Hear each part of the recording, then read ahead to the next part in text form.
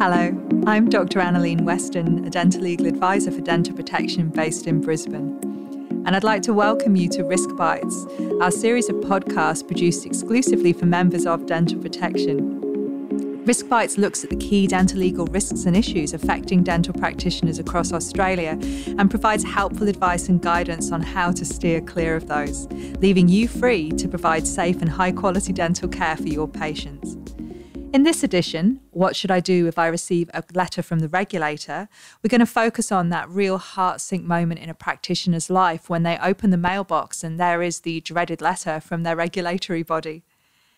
And I'm going to hand over to my colleague, Dr. Ralph Neller, to answer the questions that we commonly get asked. So thank you, Ralph. And I wanted to start off with the most common question, really. I've received a letter from my regulator. What do I do now?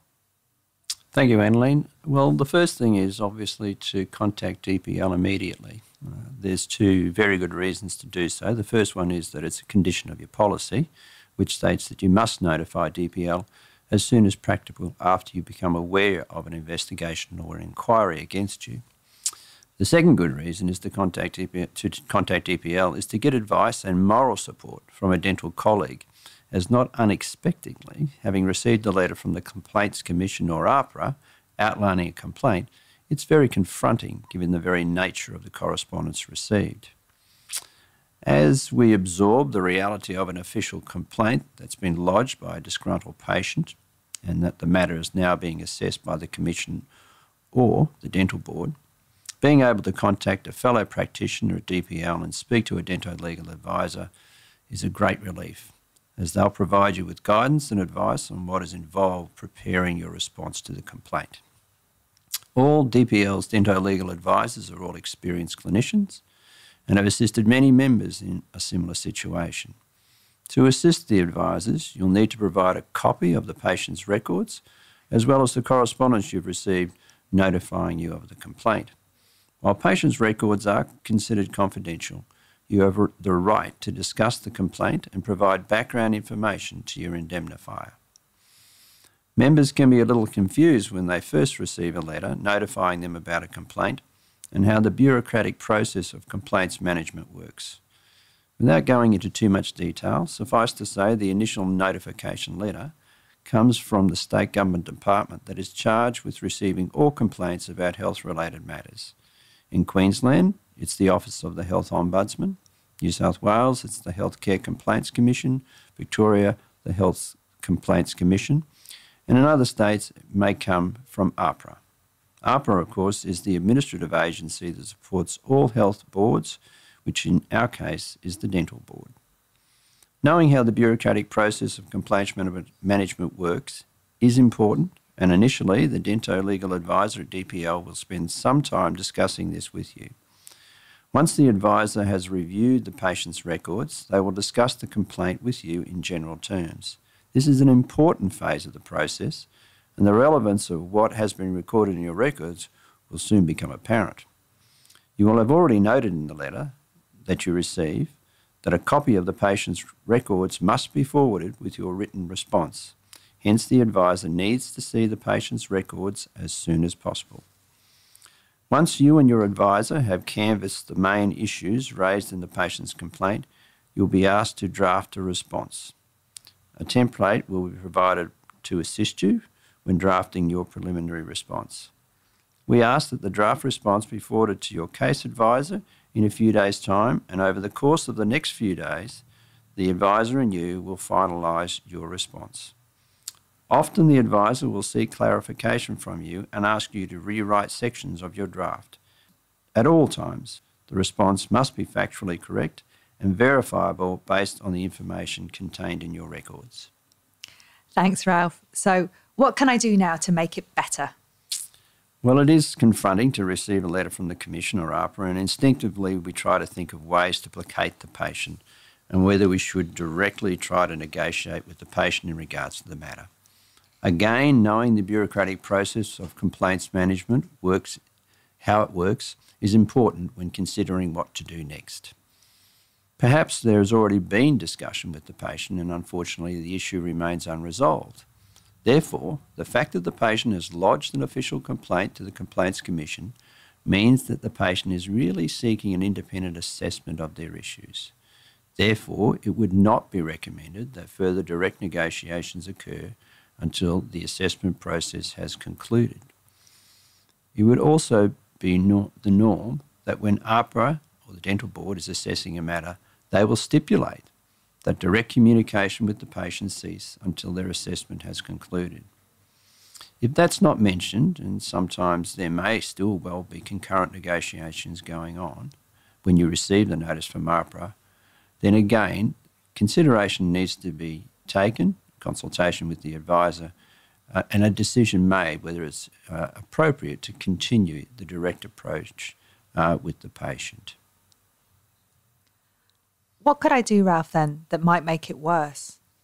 Well, given this is an official complaint, it's essential that you provide a written submission. If you do not, the matter will still be considered by the Commission and likely be escalated to the Dental Board. So we recommend that immediately you receive a notice from the regulator, please contact DPL and ask to speak to an advisor. We will assist you to prepare your submission. Even though we're all busy practitioners, please don't ignore it pick up the phone and call DPL, as there is a strict timeline that we're working to to prepare your response. And the sooner we're involved, the better you'll be able to provide a concise, well thought out, and thorough written response. Usually, you only have two weeks from the date of the letter from the Commissioner AHPRA to submit your response.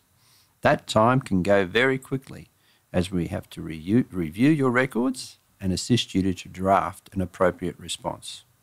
We do discuss how best to present a response, as it's important to use courteous and professional language rather than include emotive statements critical of the patient.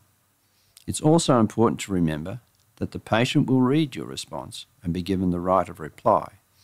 Hence, a good written response should include a factual account of the treatment provided, which is verifiable from your records, as well as provide an explanation and an objective response to the main issues raised by the patient. So, what's going to happen next? As previously mentioned, the Commission or AHPRA usually work to a two week deadline when they request your response, whereby um, you're required to respond to the allegations and submit the records. Now, once they receive uh, your submission, there's generally a two to four week turnaround when it comes to their assessment. So, again, knowing how the bureaucratic process of complaints management works helps to understand what happens next. So, without going into too much detail, if the complaint is with the Commission or received by the Commission, then it's often assessed in the first instance to determine if it is a professional standards issue or professional misconduct. If it's considered a professional standards matter, it's usually referred to AHPRA for assessment by the dental board. If it's professional misconduct, which is for very serious matters, the matter is referred to the tribunal.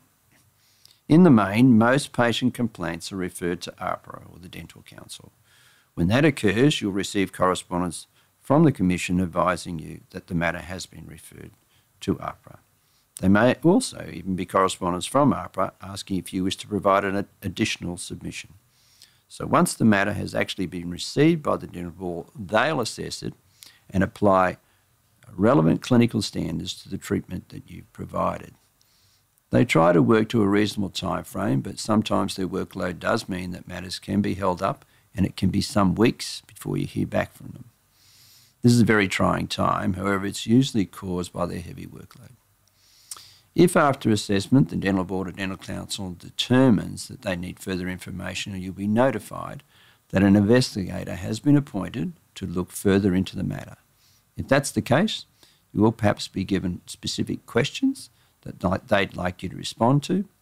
Um, and once those uh, responses are received, the board generally appoints an independent clinician outside of the dental board to provide an assessment of the treatment. Once that expert report is received, the assessment panel assesses the matter and it comes to a proposed determination. They'll write back to you and notify you of this. Again, as soon as that's received, you must contact DPL and we'll assist you in regards to any further responses. Thanks, Ralph. It sounds very serious. Is everyone going to know? Well, dental board assessments are confidential, and the correspondence obviously with you is confidential. However, the dental board or AHPRA will notify the patient once they've made their decision. The only time that others will know of the dental board's determination will be if the board imposes conditions on your practice. There is a discretion as to whether it goes on the public register. However, in most instances, conditions will be listed on the Dental Board of Australia's website and it will detail the conditions. The conditions themselves will be maintained on the board's website until those conditions are completed, and once they're completed, then an application can be made and the board will remove those conditions. Ralph, am I going to lose my license to practice over this? This rarely occurs. Uh, most matters uh, are certainly assessed at a much lower level, and when it comes to suspension, the board doesn't have the power to do that, and the matter must be referred to the tribunal for that to occur. However, it's a possibility that in certain circumstances, and this is called the Section 150 immediate action, that a dentist can be suspended if it's considered that it is an urgent matter and the dentist poses a serious risk to the public if they continue practice. Generally, as I've said, this doesn't occur, but there are circumstances when I'm sure we would all be aware, matters such as health impairment, uh, that that sort of action may need to be taken. However, in the main, matters that are considered by the regulator in regards to treatment usually fall in the lesser category of disciplinary action cautions may be given, conditions may be placed on your practice that may require you to do additional CPD, additional training, perhaps have a mentor. Um, and this is not unusual, but rarely are dentists uh, required to cease uh, practice um, while these conditions are being met. Thanks, Ralph. And how am I going to protect myself against this in the future? Well, importantly, uh, obviously, uh, it's critical that you take good records in regards to the treatment that you're providing. The board uh, assesses records at the same time as they are assessing the treatment that has been provided. The standards that apply are the Dental Board of Australia's guidelines on record keepings, and all members must be familiar with that and adhere to it. When the board is assessing the submission uh, that has been put forward by the dentist, they cross reference any statements that are made with the dental records. Any statements made outside of what, of what is noted in the records is called recollection and it can be disputed by the patient. Generally, if the patient says that they dispute uh, that recollection and there's no record uh, mentioned, then it's likely the board will take their view. There are important steps to be taken with dental records, and DPL runs seminars in regards to record keeping.